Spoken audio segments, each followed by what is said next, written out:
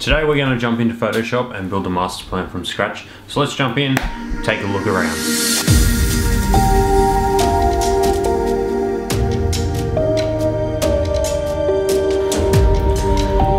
So we're in Photoshop now, but before I open it up, I just want to jump over to the Google Maps, or I have access to Near Maps through the university. So I'm going to jump into Near Maps over here. Alright, just to grab a little bit of context for our site. So at the moment I'm looking at this kind of estate down in here. Um, so we've got a bit of a canal happening, estate, um, residential over here. Uh, they're pretty generic. Big shopping centre here on the left to the east. Uh, canals and then some high-rise apartments up in here. So looking at this site, it's kind of vacant which should suit us really quite well. What I'm going to do is probably put in a few simple um, just residential single dwelling units and then I might have some high rises up in here as well um, just so they relate to those ones across here because if I'm looking at it in a bigger scope then I'm going to guess that there's some probably high rises up in here as well so we're gonna, just going to tie it all in together now I'm going to download this through Near Maps I've currently got the camera selected and I can save the current screen or I can even define an area, uh, area sorry. Um, obviously it's exactly the same with Google Maps. Um, it's a little bit more involved because I think Google Maps you've got layers so you'll have to turn those off or work out a way to delete them. But anyway, I'm going to download this and we can jump back into Photoshop. Alright, so Photoshop's open up here. I'm just going to hit new here. And I've already got my dimensions and stuff set up and a transparent background there. Um, obviously you guys will want to match this to the panels or the critique that you're doing um, and the artboards. Um, for now I'm just keeping 1920 1080 because that'll suit me for this kind of video. Alright now I'm going to grab that, that context map from my imagery, drop that in and I'm just going to scale that up. Holding down Alt and Shift scales it from the center proportionately and I'm happy enough with that. Hit enter to accept the changes there. I'm gonna just rasterize that layer. I don't really want to keep it a smart object and we're gonna call it context map. Right, and now I'm just gonna create a new layer here really quickly. And we're just gonna call this site boundary. And what I'm gonna do is grab my paintbrush make sure it's just a hard small small enough pixels and I'm to click here holding down shift so it draws a straight line and this is kind of just the boundary I'm going to give myself really really quickly. Right so that's our site in here and the context out the outside. So to make that our site kind of pop a lot more than the outer context what I'm going to do is jump down into our context map and I'm going to put a layer mask over the top of it so you can see that linked up there. Um, second uh, third button in sorry so you can see the bounding box on that that layer mask now. So we're going to use that grab my polygon lasso tool by hitting L and I'm just going to go around the side boundary here guys. And jump on down. And I'm going to get a grey selected. And what this will do is, so with the layer mask, your black will obviously hide and white will keep um, keep it visible. So by doing a grey, I can make it a, a little bit transparent. So hit G, and hopefully this will work for me. Ah, I'm with you. Let's invert that.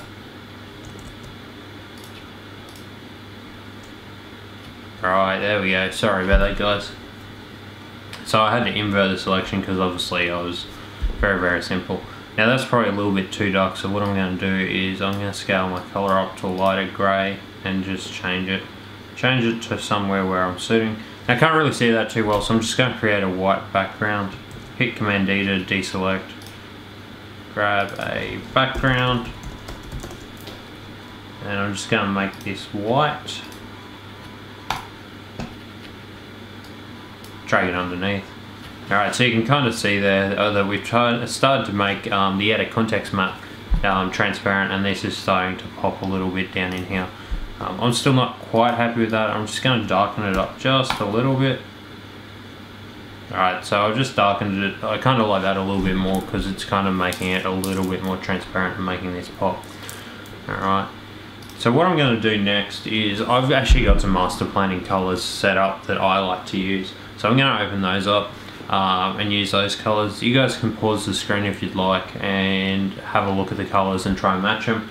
I might even leave the RGB um, colors down in the description below. So if you're interested in the colors I kind of used for this style of master planning, uh, have a look in the description below and um, grab those RGB values that you can put in.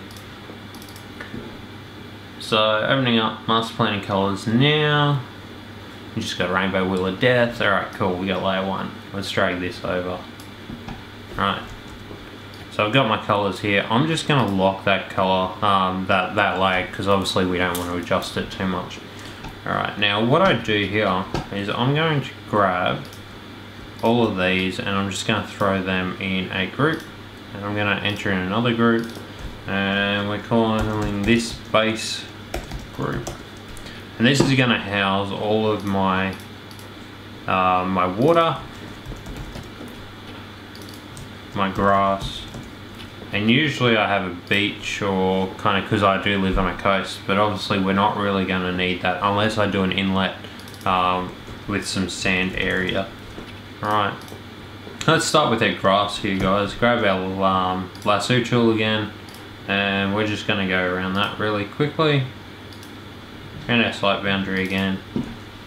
And we're going to just zoom out and go into our paint bucket by hitting G. Hold down alt select our green Alright, and boom, done. So that's going to be our grassed area. Now I do make adjustments to this later on, um, but that'll do for now.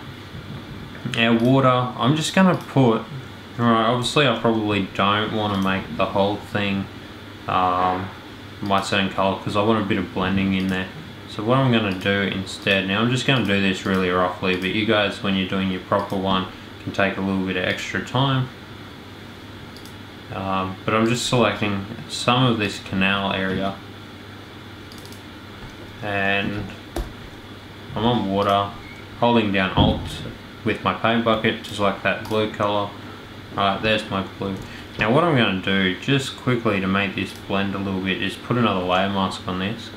And I'm going to hit B for brush. And what I'm going to do is kind of feather. I'm going to put the hardness way back down. And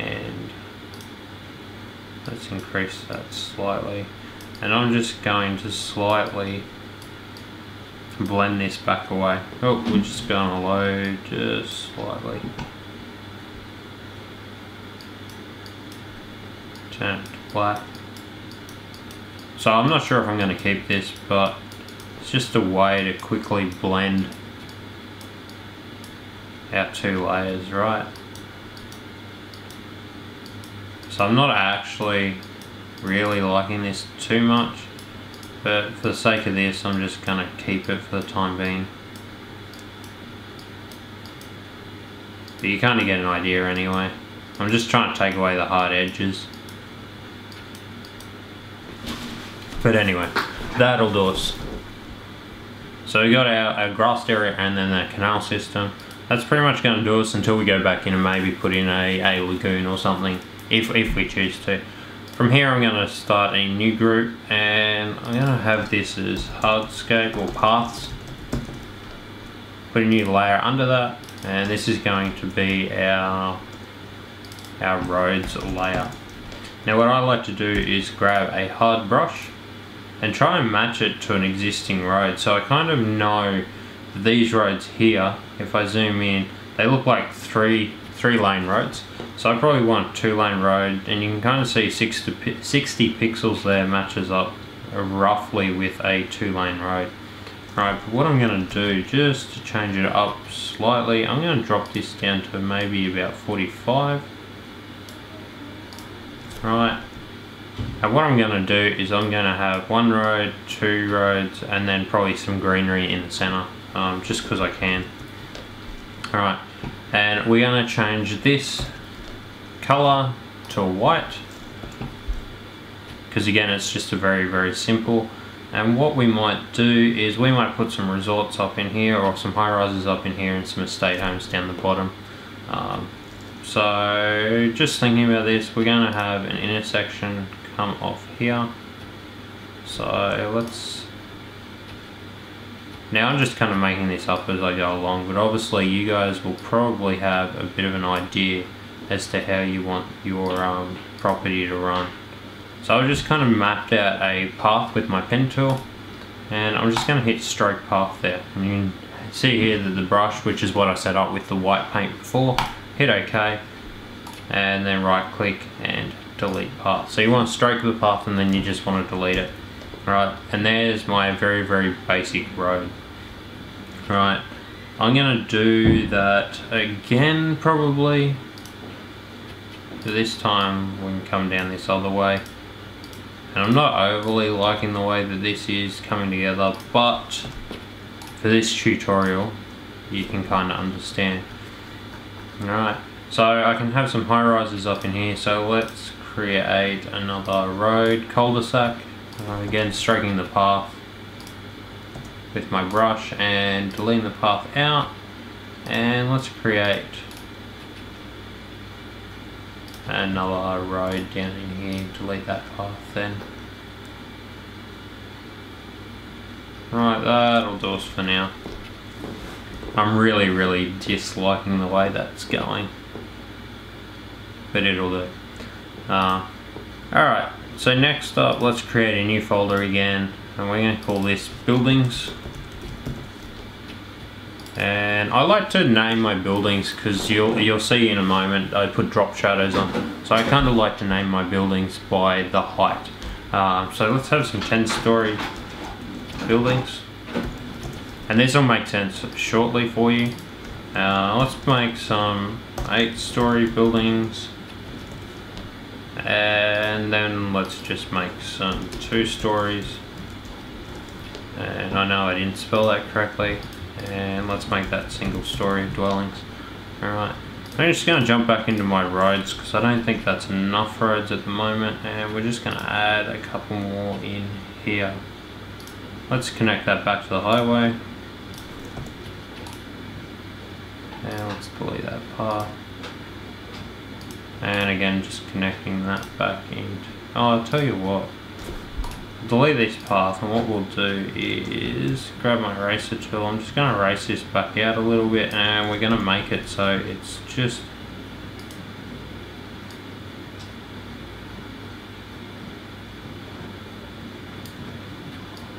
that way it's kind of protected from the highway somewhat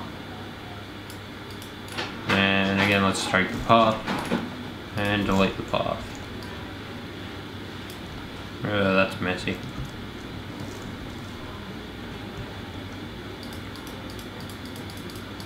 Sorry, I was just cleaning this up because I'm changing the design in my head as I'm going. Alright, and what we'll do is grab our pen tool back and we might just put one up the center here and delete our path. Alright, so now we can kind of put a bit of a buffer zone here, some estate homes into here, um, and we can work it out. So, should be simple enough.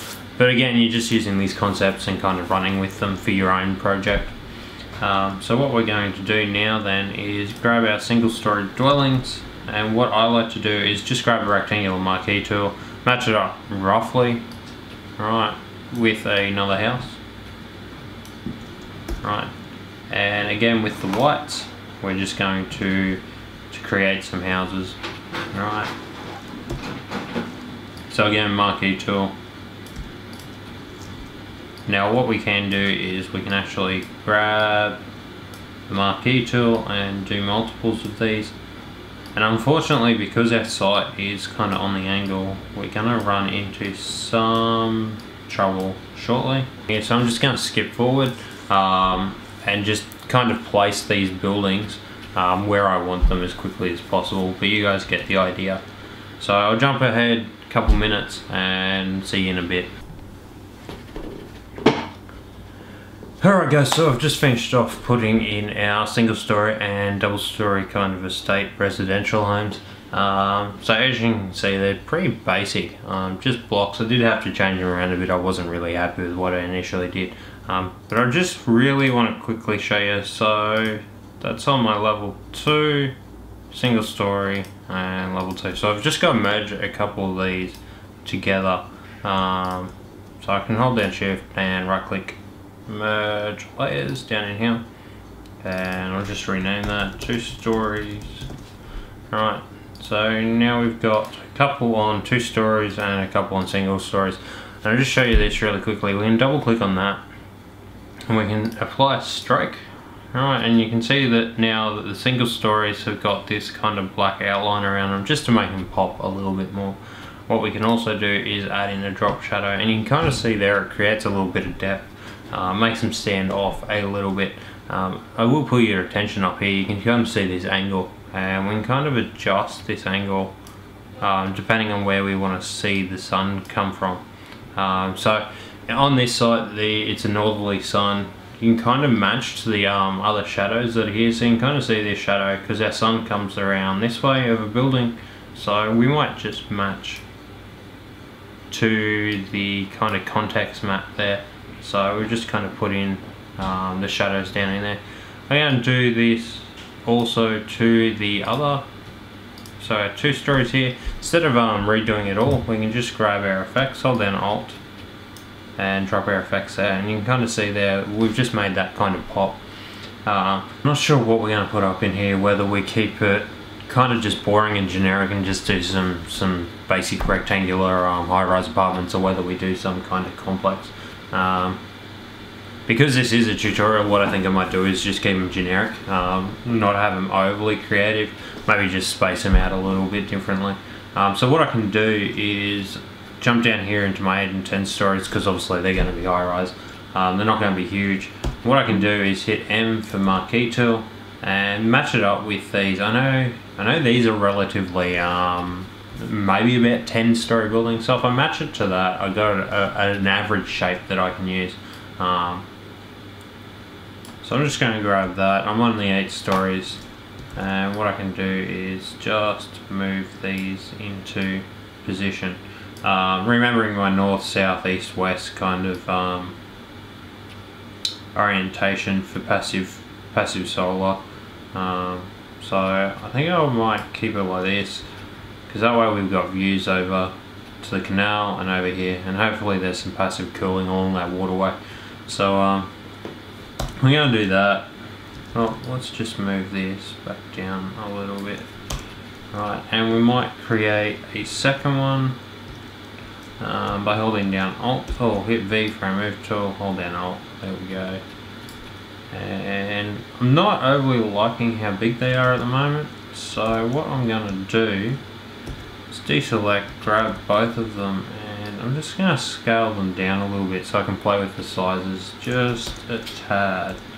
Um, grab my lasso tool. Because at the moment that that apartment block is blocking the views from that one. So if I just move it over we can kind of maintain our views a little bit better. Alright. And again I'm going to add some drop shadows and effects to these shortly. Um, I'm just trying to work out what we want to do that's going to still look good but going to be able to teach you guys you know properly um, so yeah Alright, let's let's just do some 10 story ones again. Uh, just let me change that, right. And we might just do the same. Uh, I'll tell you what, let's let's change it up a bit and we'll make a bit of a complex in here. I'm not sure how, how well it's going to look, um, but we'll see. Um, so what I want to do is, I'm going to have a bit of a rectangular complex. And what I'm going to do is just perhaps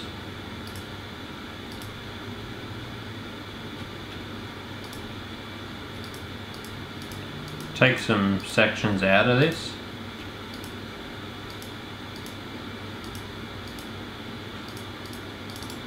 And that way I've got two kind of buildings here and I can I can weave a road through or something. Um, not overly fussed on the shape of this one, so let's see if we can just change the shape up just slightly. Alright, I'm happy enough with that, so you know, it's not great, but it'll definitely do. Um, so I can throw up a path or a road up in through there. And over here, let's do, let's keep it, alright, well we've only got two stories here, so let's go back up to an eight story um, apartment. And we'll do the same, because I don't want it to be huge. I'll tell you what, let's make a parkland up in there, and we'll throw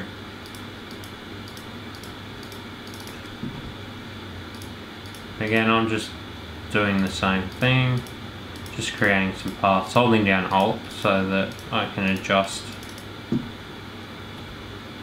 the shape of these. And I'm just kind of eyeballing it because obviously I haven't really planned this. Alright, I'm happy enough with that. That'll do. Right, so we've got kind of our, our residential one-story apartments down here and our bigger apartments up here. Now, what I'm going to do is go into this. Again, we're going to put in on our stroke. I'm going to bump our stroke up though slightly, just to... Uh, we're going to put it on a drop shadow. Now this is where we can kind of create depth and make sure that it looks bigger. So these are the settings we used before um, what I'm going to do is hit the plus sign there so we can adjust this drop shadow I'm just going to up the spread and whatnot. And usually I do this a little bit more calculated um, than what I'm doing. Now I'm just kind of doing it by feel.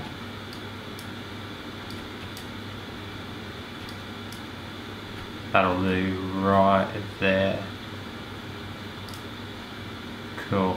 And so I'm just going to copy again, holding down Alt, and copy those effects down to the 10 story department.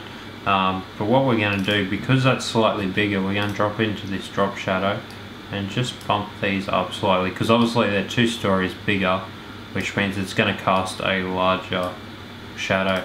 Um, still not overly happy with the way these are looking, so I'm just going to cut that out there I'm just trying to still make him walk alright. Um,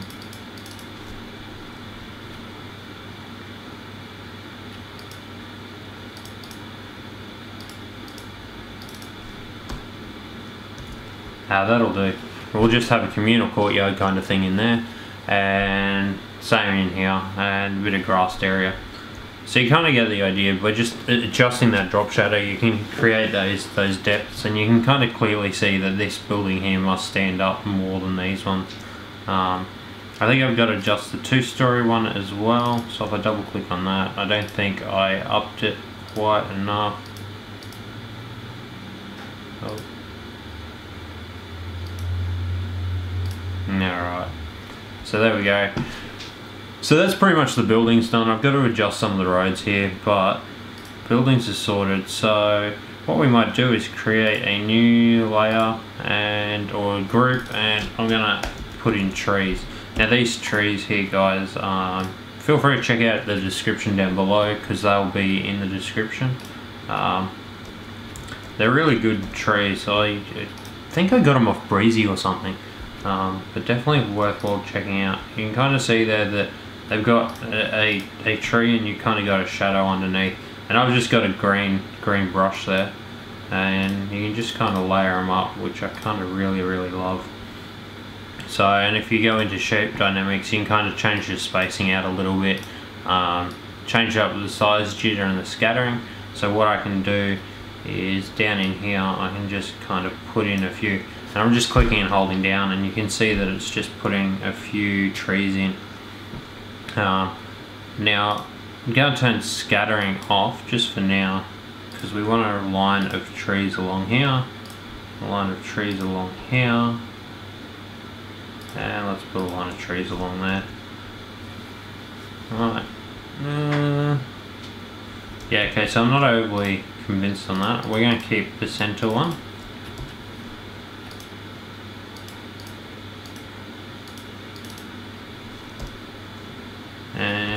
Just delete these other couple. And what I might do is turn the scattering back up just slightly and we might just scatter these up. Now you'll notice that this has kind of come over the road just a little bit. So what I'm going to do is just grab that and maybe move them down into here. Just change it up a little bit. And what I can do also is just reduce the size and start putting in, you know, smaller trees. So maybe if I want trees down in amongst here, um, which I don't because I'm going to put a path there. So I'm just going to back that out. Um, but you kind of get the idea. I can, oh, zoomed in a little bit too far. I'm put trees down along here kind of simulate people with backyards. I've probably got scatter up a little bit too much at the moment. Let's bump this up as well. And there's that tree buffer we were talking about. And again, you've got to kind of watch your scatter. Because now I'm having to come back in and kind of just erase a couple of these trees because they're going outside those site boundaries and onto the road. Um,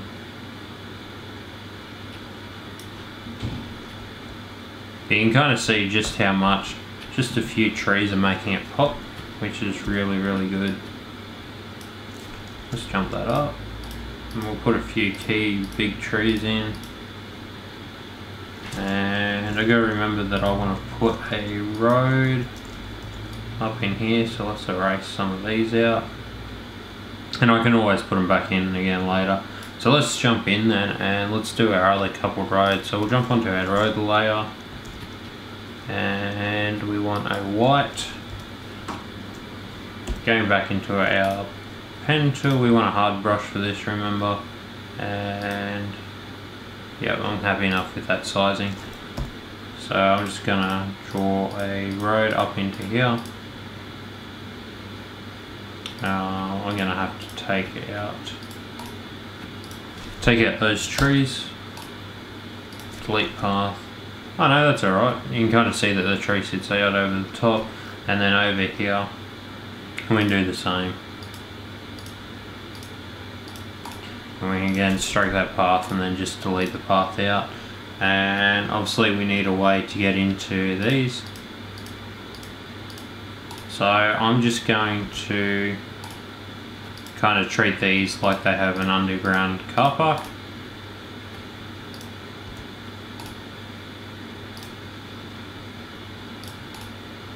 And deleting the path again. Alright, so we got a few pathways in there. Now I just want to fix these up. Then we're going to just start making it pop a little bit more. So I'm going to reduce the brush down a little bit because obviously these are kind of private. And stroke path. Delete the path. And same again here. So it's just basic, basic lines here guys.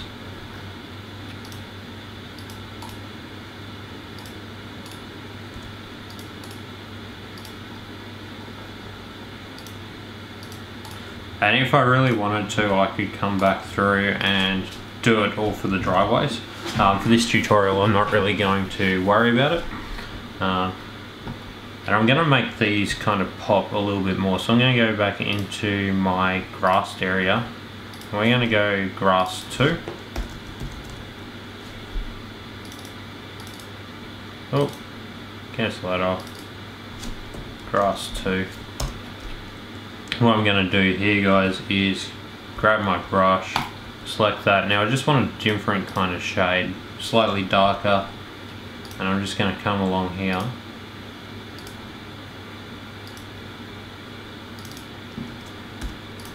And alright I don't like light darker so let's go a bit lighter. And I'm still not a huge fan of that but what I might do is instead going internal we'll go external out here. Let's try that again. And I think it kind of needs to be a little bit more pale. Alright so there we go. So we've got actually a defined kind of area around that. And I'm just going to do the rest of these pretty rough And again, this is just the polygon lasso tool, just kind of clicking on each corner. And then after this is done, we might fill it in with some trees.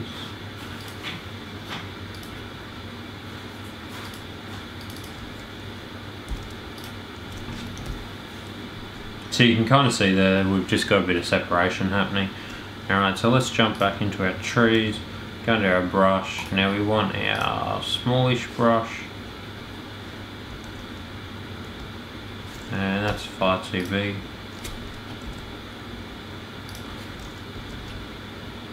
We're just going to scatter some trees up through here. Just so it's like an internal courtyard type thing. And again, I'm just being pretty rough here. I'm not going to be overly concerned. I'm going to start scattering some trees through these backyards here as well. Kind of give the illusion that there is some um, backyards happening.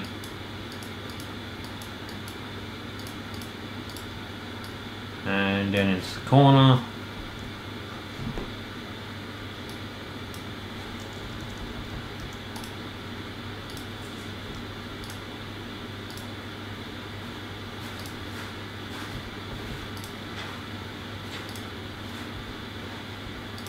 I'm just playing with the different sizes here guys as well so so we've actually got some, some change. Now just looking at this tool, what I might want to do is let's put in a couple extra trees down in here.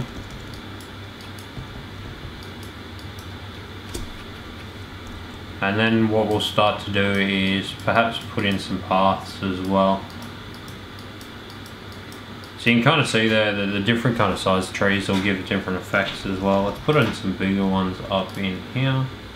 Let's put in a big one there. Like honestly, the trees are probably a little bit too big, um, but I can't be bothered going back in and changing them up at the moment. Now one last thing that I wouldn't mind doing is maybe putting in a pathway um, through that corner. So I usually grab brush tool. And maybe use one of these colors. Let's use the darker one. And let's put a, go down into our paths and we want a new layer. And we're just going to call this one path. And making sure it's dropped under the road so that it won't the bitumenized areas kind of go up over the top. And what I'm going to do is just click up through here. And we might just meander through the trees here just for the hell of it